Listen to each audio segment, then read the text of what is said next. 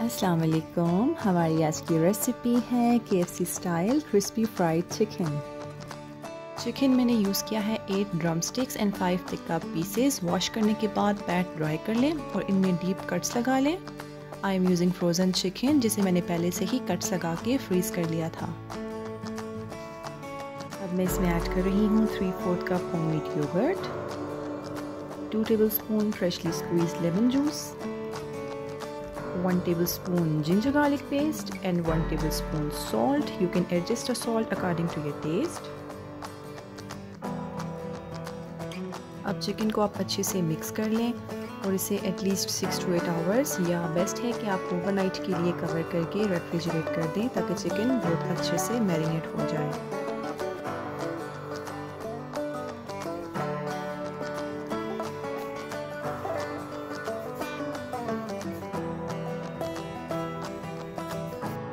अब फ्लावर की कोटिंग बनाने के लिए मैं ऐड कर रही हूँ half cup all purpose flour one fourth cup corn flour one fourth cup instant oats और one fourth cup bread crumbs spices में ऐड करेंगे हम half teaspoon salt one teaspoon black pepper powder one teaspoon crushed cumin seeds one teaspoon red chili powder and one teaspoon chaat masala powder अब इन सब ingredients को आप अच्छे से मिक्स कर दें और आपकी कोटिंग हो गई रेडी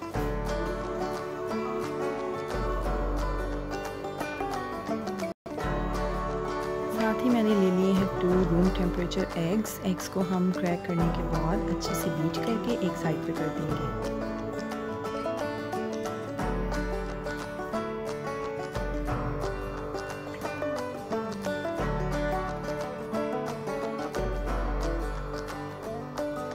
अब हम अपनी मैरिनेट हुई हुई चिकन को फ्रिज से निकालेंगे। अच्छे से एक दफ़ा चिकन पीसेस को मैरिनेट के साथ मिक्स कर लें।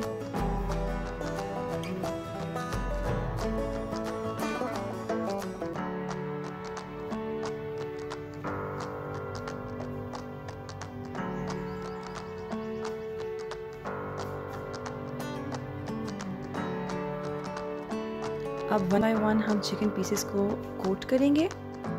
फ़र्स्ट कोटिंग हम इसमें देंगे फ्लावर मिक्सचर की।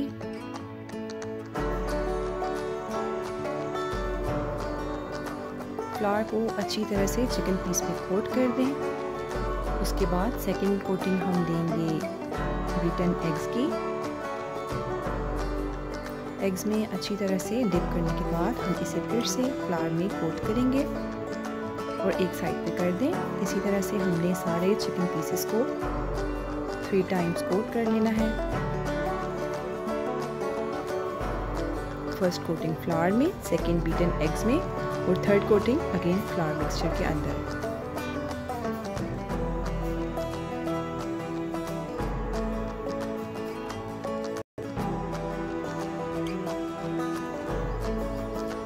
ये आ गई सेकेंड कोटिंग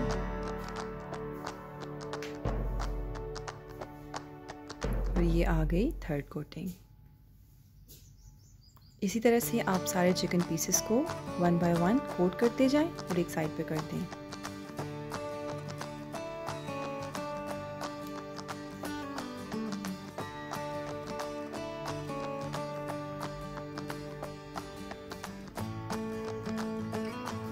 साथ ही हमने ऑयल को चूल्हे पर रख दिया है गर्म होने के लिए। 10 मिनट्स के लिए आपने इसे लो फ्लेम पे हीट अप करना है। उसके बाद हम वन बाय वन अपने चिकन पीसेस को इसमें ड्रॉप करेंगे। ये आप देखिए, ऑयल का टेम्परेचर ऐसा होना चाहिए कि आप चिकन ऐड करें। तो छोटे छोटे बबल्स ऊपर को आने लगे। बहुत ज़्यादा ओवर हीट नहीं करना चिकन ऐड करने से पहले।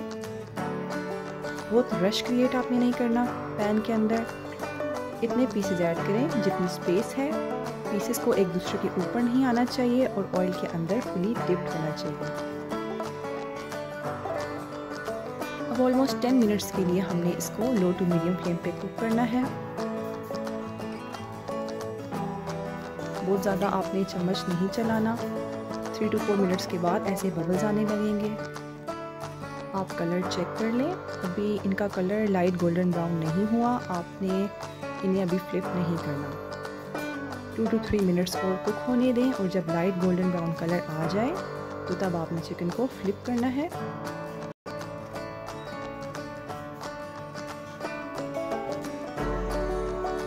फ्लिप करने के बाद फर्दर हम इन्हें टेन मिनट्स के लिए कुक करेंगे, ताकि सब साइड्स पे एक खूबसूरत सा नाइस गोल्डन ब्राउन कलर आ जाए।